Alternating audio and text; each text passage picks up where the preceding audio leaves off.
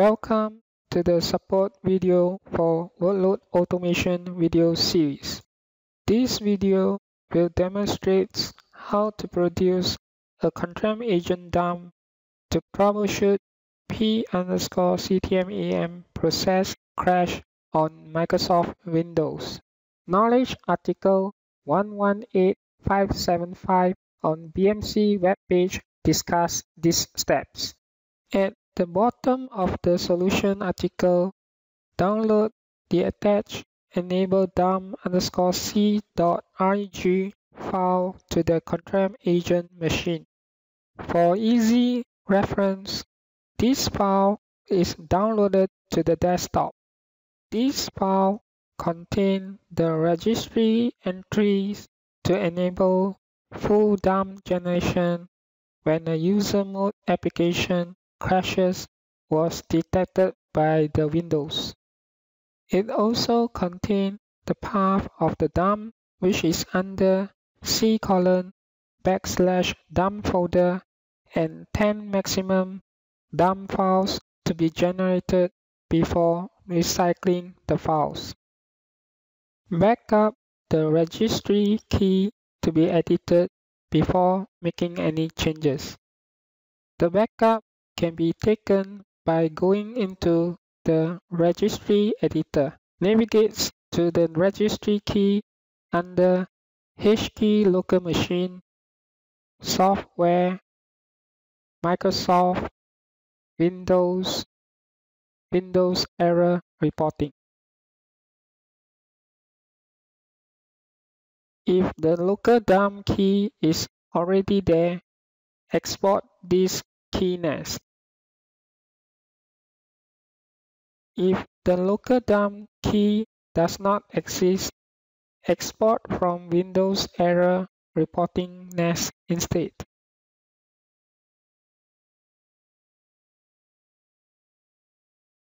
This registry backup will be restored after the Windows dump is generated.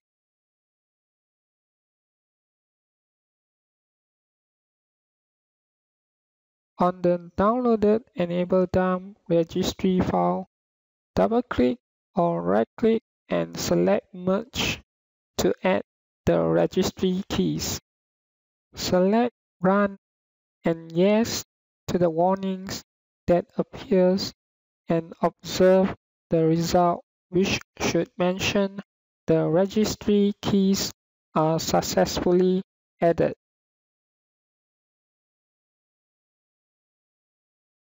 From the editor verifies that the local dumps registry is created and the dump generation settings are defined. Next, enable the Control-M agent diagnostic with agdbglvl5 on the command prompt and wait or simulate the reported incident with Control-M agent p underscore ctm am dot exe process crashes.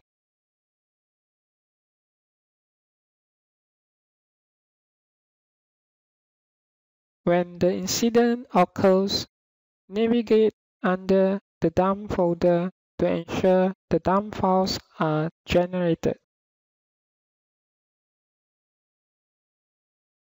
Compress the dump folder to a single file.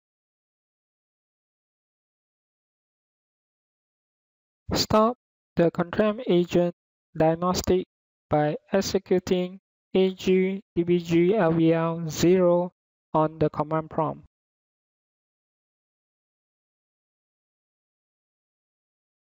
Send the data collector and dump folder to BMC support for troubleshooting.